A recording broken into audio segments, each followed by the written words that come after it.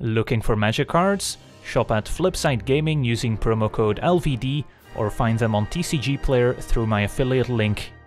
Hello and welcome to another Magic Arena gameplay video. Today we're taking a look at another standard deck, this one a red-green ramp deck featuring Lukka, Coppercoat Outcast, the new Planeswalker from Ikoria, and we're mostly interested in the minus 2 ability in this deck, which lets us exile target creature we control and then reveal cards from the top of our library until we reveal a creature card with a higher converted mana cost, put that card on the battlefield and the rest goes on the bottom in a random order.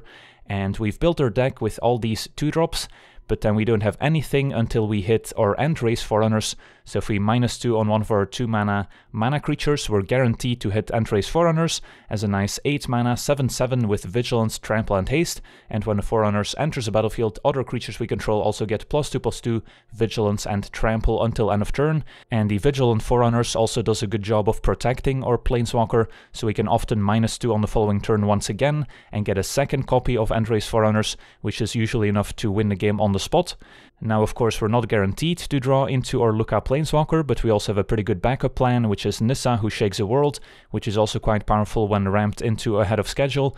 can just generate a nice supply of 3-3 Vigilant lands, and with the mana doubling of forests, we can also easily hardcast or End-Raze Forerunners, which can still help us end the game. And then taking a quick look at the rest of our deck, we've got a lot of mana creatures. We're also playing Gilded Goose, even though we can't minus 2 Lukka on it to get our End-Raze Forerunners, just to give us that extra acceleration to help us play our Planeswalkers on turn 3. And we also have Leyline of Abundance, which can help us power out one of our Planeswalkers a turn ahead of schedule. And then at 2 mana we've got Incubation Druid, which we can also adapt if we're lacking a mana sink and we don't have anything else to do. Can turn into a 3-5. We've got uh, Leafkin Druid, which can double mana if we have 4 or more creatures in play, which can also come up. And then Paradise Druid, which can also fix our mana, making red, and has that built-in hexproof for a turn at least. And then we also have some cheap interaction with Fire Prophecy, dealing 3 damage to target creature, and we can also put a card from our hand on the bottom of our library, and then draw a card, which is very useful if we want to get rid of an race Forerunners that we maybe don't want to hardcast, to put more copies into the deck so we can search them up with Lukka, and also just gives us some cheap interaction if we're up against a more aggressive deck, can be useful to just get ourselves a bit more time and maybe protect our Planeswalkers better. We could also replace Fire Prophecy with a number of other cards, Voracious Hydra, for example, we won't hit with the minus 2 on Lukka, and is still a nice mana sink that can act as removal, could also be a nice inclusion, even though it's maybe a bit less mana efficient in early turns than a Fire Prophecy would be. We could even splash blue for Hydroid Krasis if we really wanted to, so there's a number of options we can consider here, but I've been liking Fire Prophecy a decent amount. Then of course we've got our Leyline, which can also act as a mana sink for 8 mana, putting a plus 1 plus 1 counter on each creature we control, which also synergizes with our Incubation Druid if it didn't have any counters on it already, as it will now make 3 mana instead of just 1. And then at 5 mana, of course, we've got our two Planeswalkers, which are the two main win conditions, alongside our End-Raze Forerunners, which we can also frequently hardcast thanks to our mana creatures and Leylines and Nissas. And then the mana base is pretty straightforward, 7 mountains, 9 forests, 4 stomping ground, and 4 temple of abandon to give us a bit of card selection, help us find the missing combo pieces. So the only new card from Ikoria here is uh, Lukka and then Fire Prophecy, but that could also be replaced with something else if you wanted to. So that's our deck. Now let's jump into some games and see how the deck does. Alright, we're on the play. Don't have our Lukka Planeswalker, but we do have Nissa, which is not a bad uh, backup, and then we might be able to hardcast the Forerunners thanks to Leyline. Being on the play also definitely a big deal for a deck like this.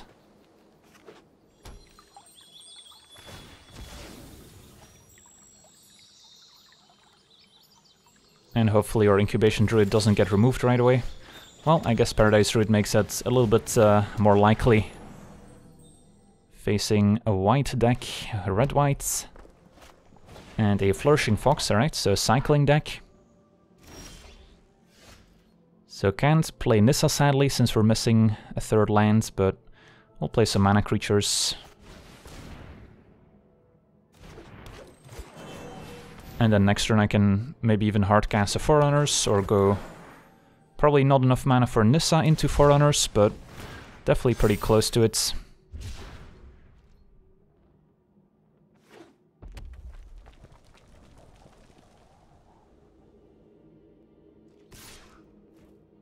We'll take the damage. Uh, let's see if they cycle some more. The Flourishing Fox could definitely get bigger than our End-Raze Forerunners, so we might have to go wide in order to defeat the Fox. For now, just 2 damage. And go for Bloods, taking out one Incubation Druid. Fair enough. So I can still play Nissa. Seems fine.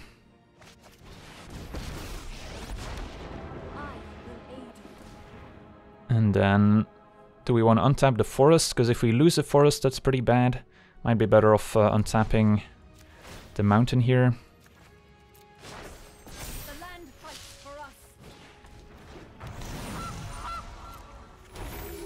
And get in for three. And I can jump with the Gilded Goose if needed.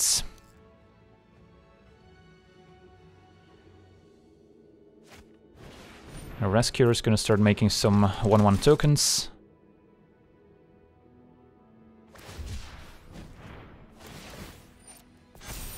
If they don't have another lands, then the mountain can hold off the fox for now. Which seems to be the case. Alright, so how many creatures do I need to tap here?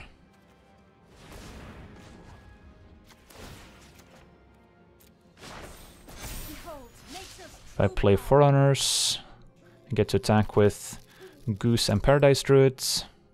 And then second main, I can still maybe tap some of my creatures. Is that the best I can do? Could also use Leyline.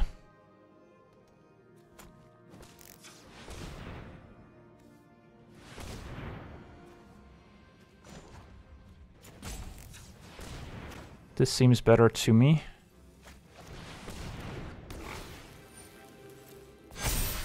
Play an extra goose.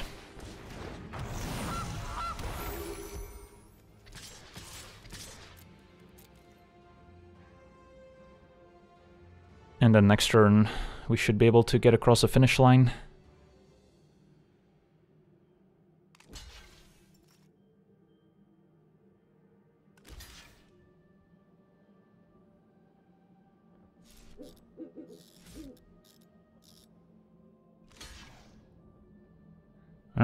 Our creatures do trample, so blocking the mountain doesn't really accomplish a whole lot.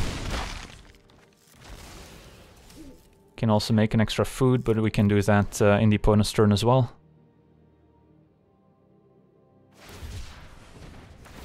Alright, not sure how our opponent's gonna get out of this mess. I guess next turn my creatures are no longer trampling, so they can maybe chum block to survive. But then we can also ultimate Nissa soon.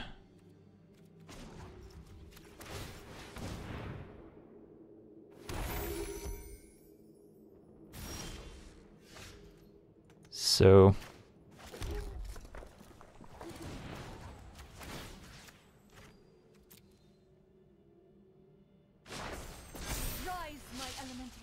Can attack with uh, the Vigilant Lands and still tap them for mana to activate ley lines, so...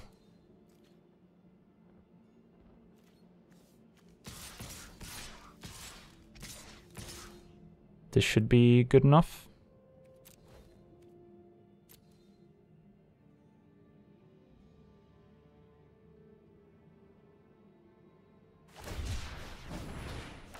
Opponent gets an extra blocker.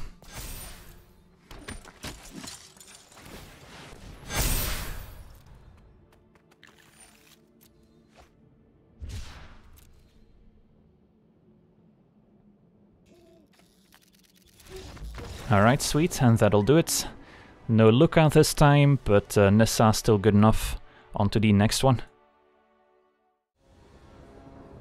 Alright, we're on the play with uh, a hand capable of playing a turn 3 Lukka, so I'm keeping.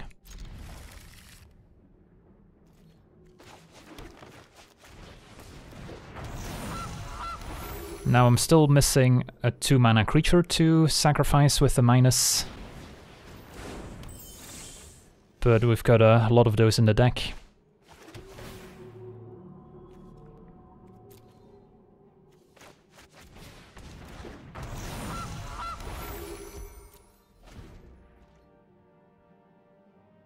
Facing a blue-white flyers deck. So they do definitely have the tools to attack my planeswalkers past my forerunners. So if I play Lukka... Yeah, I guess I'll just start plussing.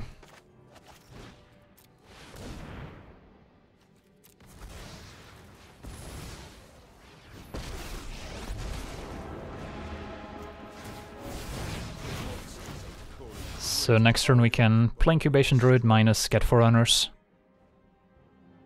And then the Goose gets to attack as a 2-4 and stay back on defense. Hopefully no Empyrean Eagles. If they have uh, Rally of Wings, they could kill Lukka as well. They do have Empyrean Eagle.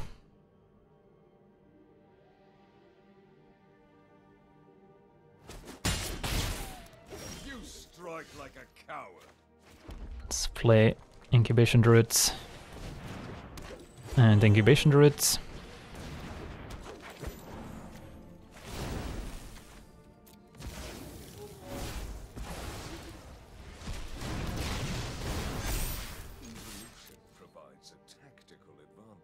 And next turn we can do it again.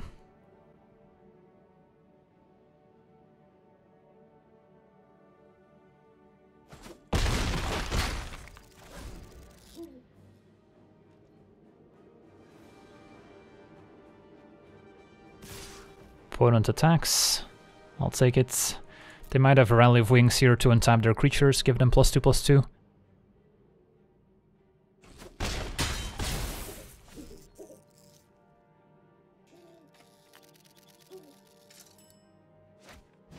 Another Empyrean Eagle second main is not gonna cut it.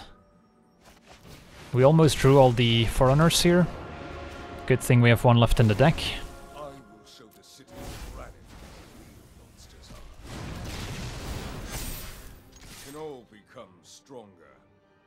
And that should be game. Sweet. On to the next one. Alright, we're on the draw. A reasonable hand. We've got Leyline, bit of interaction, bit of ramp. We're missing a 5 mana Planeswalker, but we've got 8 of those that we could draw into. And we're not too far from potentially hardcasting the Forerunners if we draw another mana creature. Ominous Seas, alright. Well, I don't think Prophecy is great in this matchup. So drawing two of them, uh, it's not quite where I want to be. Voracious Hydra definitely would have been more useful.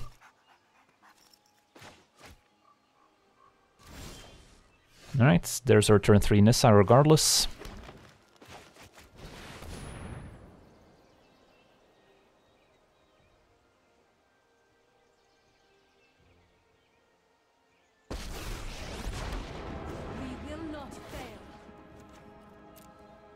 Don't think I want to plus on the forest, since those are pretty valuable right now.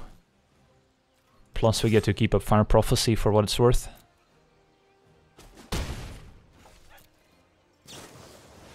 Faerie Vandal, yeah. It's a fine target for it. Do I get rid of Prophecy or lands? I mean, I'm gonna be able to cast a Forerunners most likely anyway. And maybe I'll want a second Prophecy. Probably don't need a third, but that's okay.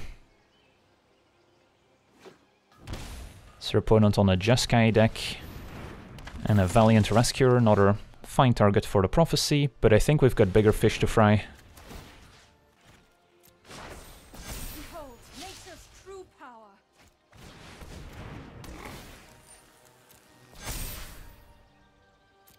So I guess I can attack and then before blocks cast a Prophecy,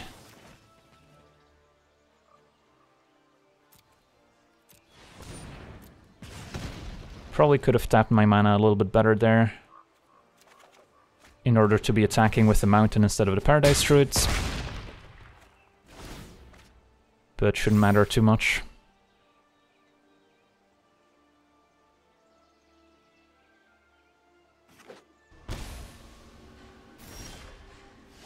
Not sure what this implies. Maybe like a Zenith Flare would only be for one. They can't cycle enough to make a Kraken, so who knows.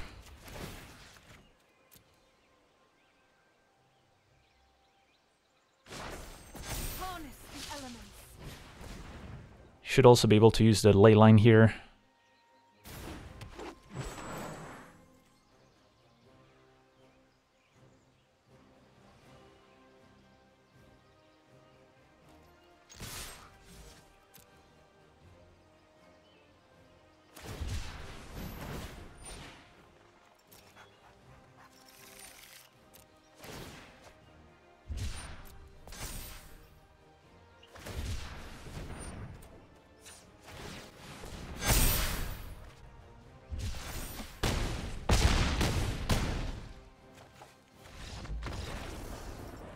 Alright, on to the next one.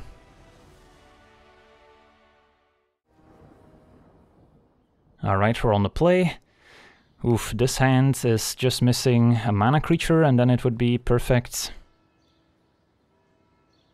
Can I keep this? I have basically one draw step to find a mana creature. If I miss, it's, it's pretty bad. Opponent on a Gyruda deck, so Fire Prophecy could maybe kill their mana creature think I'm gonna keep it. The payoff is pretty huge if we do get there.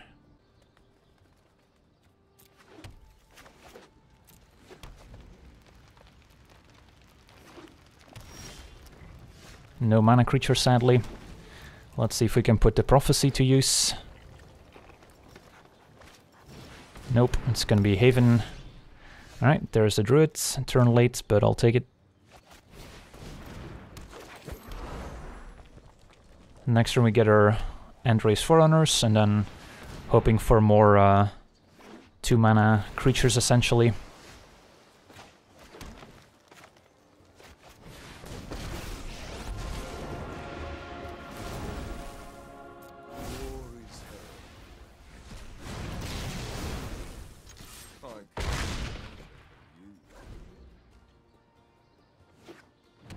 Hopefully they don't hit my own uh, Forerunners with Gyruda here.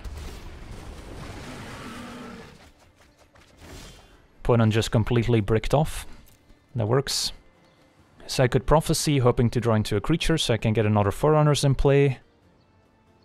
But playing is alright too.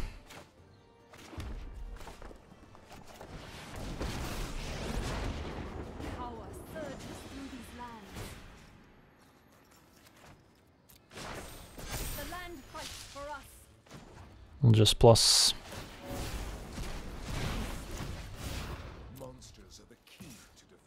Could attack and then Prophecy Gyruda if they block. Maybe that's worth it if they have like Spark Doubles in hand.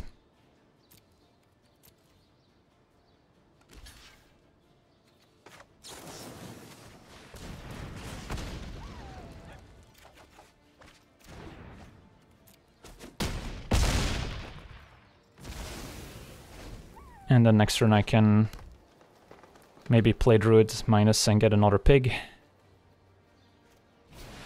Alright, they have a Gyruda hands. This time they did hit Spark Double.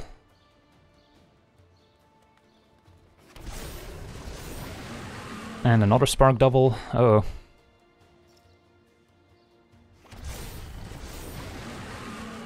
And just a mana creature.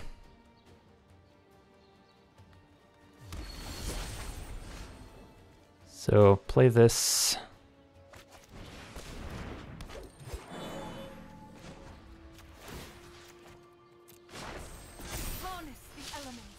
I guess I would rather sack the Leafkin than Incubation Druids.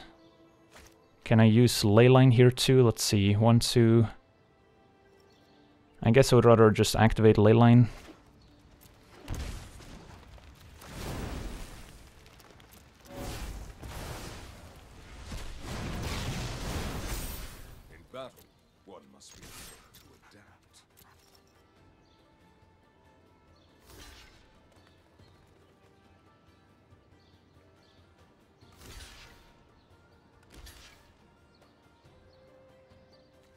So we'll put the 7-7 firsts.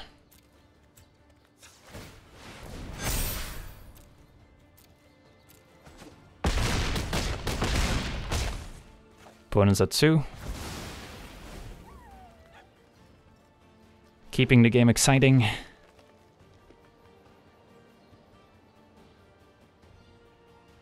But we can get a third Forerunners next turn with the Leafkin Druids. Alright, had another Spark Double in hands. So... Opponent hits my Forerunners now, uh-oh. But they chose for another Spark Double, and then they hit their own Forerunners, wow. Opponent hit all four uh, Spark Doubles here.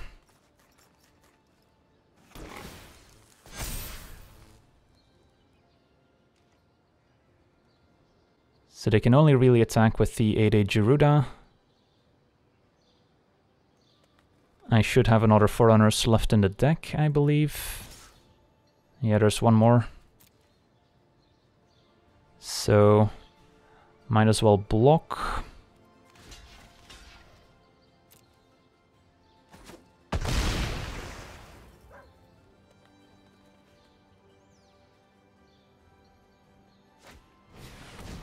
Thassa can flicker Spark Double, make another Gyruda.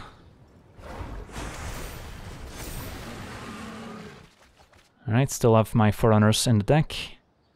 Opponent's got 17 cards remaining to my 15. And hits Kogla. Uh-oh. Yeah, this is starting to slip away. I don't think getting another Forerunners is good enough here. So close. But yeah, hitting all the spark doubles with Gyruda is one way to win. So I have one Forerunners left. Oh, do I even have a Forerunners left? One, two, three, four. I guess I don't. So minusing Lukka doesn't accomplish much. Alright, I think we're dead. What a turn of events. Can play some creatures, but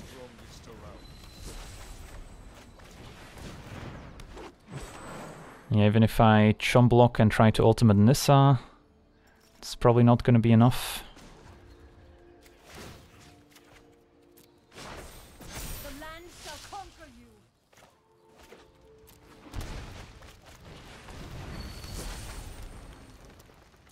Can adapt Incubation Druid too.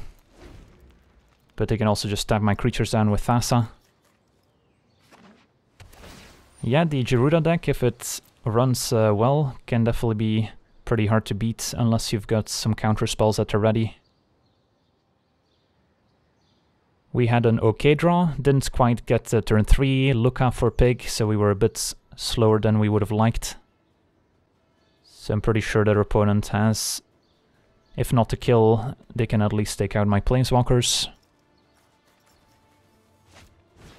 And Dream Eater as well.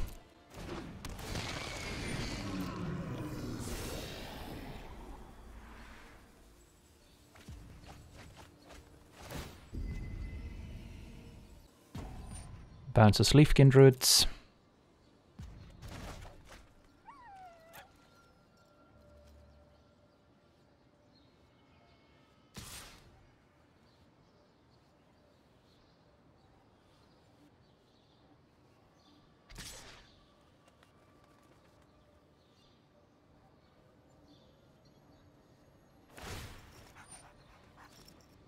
Gets to take out Leyline.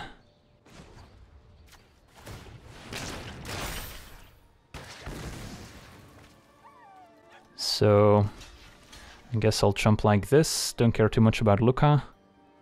I mean, I get to have an indestructible forest. Does that matter? Probably not. Do I have any Nissas left in the deck I could draw? Should have one Nissa left in the deck. So maybe that's my game plan here. Ultimate Nissa. And then try to draw another Nissa. But yeah, still don't really see how we deal those last two points.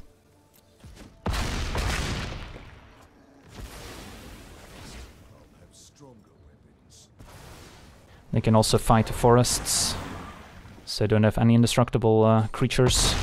Takes out Incubation Druid instead.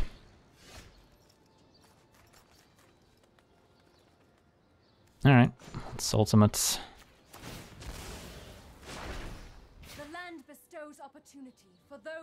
So we've got a Nissa left, and that's probably the only relevant draw.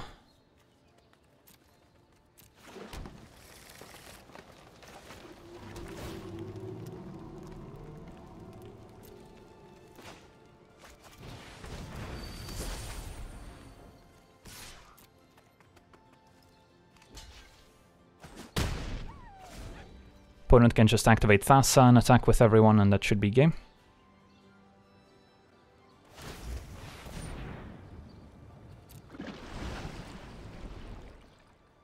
Alright, GG's.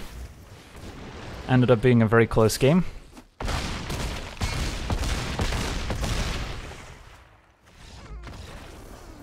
Alright, on to the next one.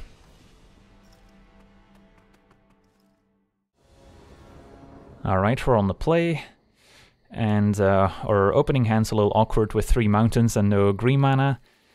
Would I have kept this with green mana? Maybe. I mean, Leyline, two mana creatures can hardcast the Forerunners. Definitely not exciting. But now it's an easy mulligan, and this is an easy keep. Would have liked to keep the Fire Prophecy as a bit of interaction, but I think I gotta keep Double Druid, especially if one of them dies, to go with our Leyline, help us power out Nissa, and then uh, Nissa will help us activate the Leyline as well.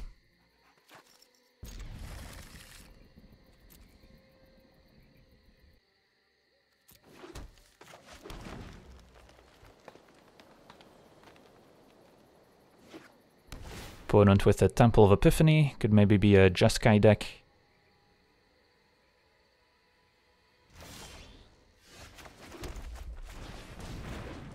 I'm gonna need an untapped land to play Nissa next turn, so the temple comes at an awkward time. Alright, opponent had removal anyway, so good thing we kept the extra incubation druids. Don't really need Fire Prophecy. Opponent could be on like a red-blue uh, cycling deck with a Riel, in which case Prophecy is still useful, but don't think I can afford to keep it here, especially if the druid dies.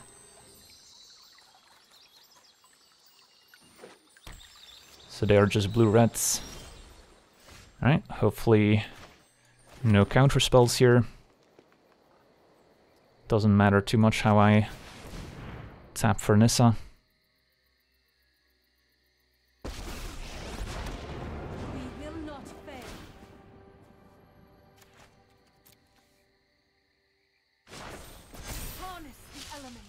And next turn we can play our Forerunners if Nissa's still there. Could maybe see Brazen Borrower. and study Yidaro cycles.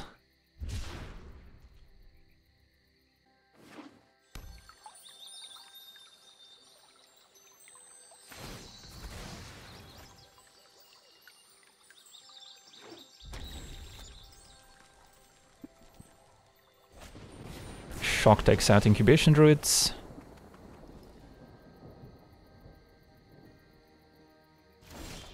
Ooh, there's Lukka, but now I lost my 2 mana creature, so I can't minus to get a Forerunners anymore.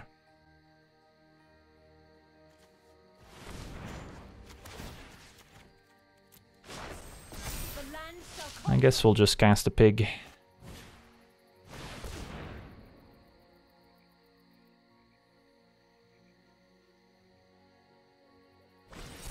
Gets disputed. One mana short of paying for it. That's alright.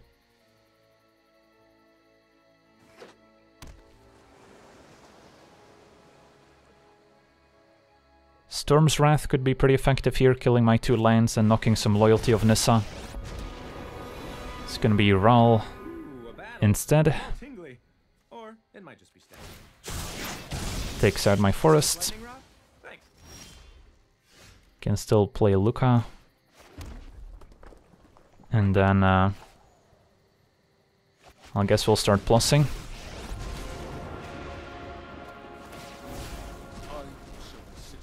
That's a miss. The plus on Lukka is not amazing in this deck. It's definitely mostly for the minus that we're interested in it. I can ultimate Nissa next turn if we want to.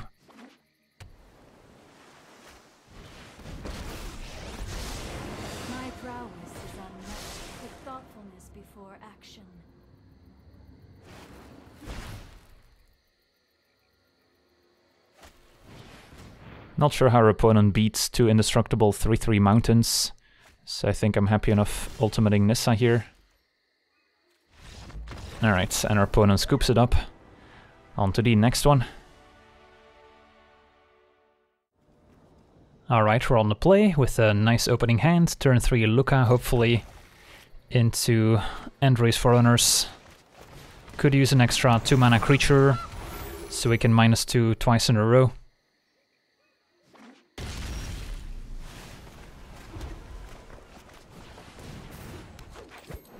No real point in playing the goose.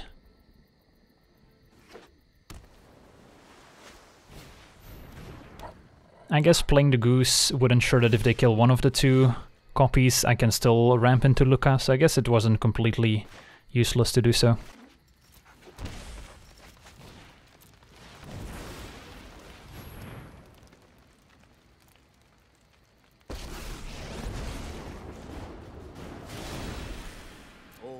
And we did draw Incubation Druid, so... Got the ideal start on the play. So I'll be surprised if our opponents can uh, get back into this game, but needs to start by removing the Forerunners and maybe killing Lukka.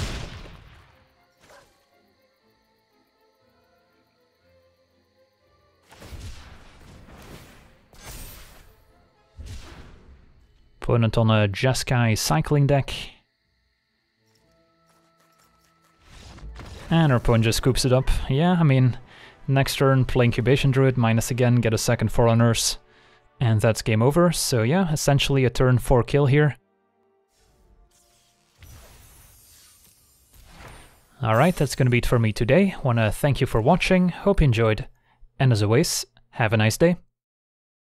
I also want to thank all my patrons for being part of the channel, and you can become a patron yourself today and decide the topic of future videos over at patreon.com forward slash legenvd.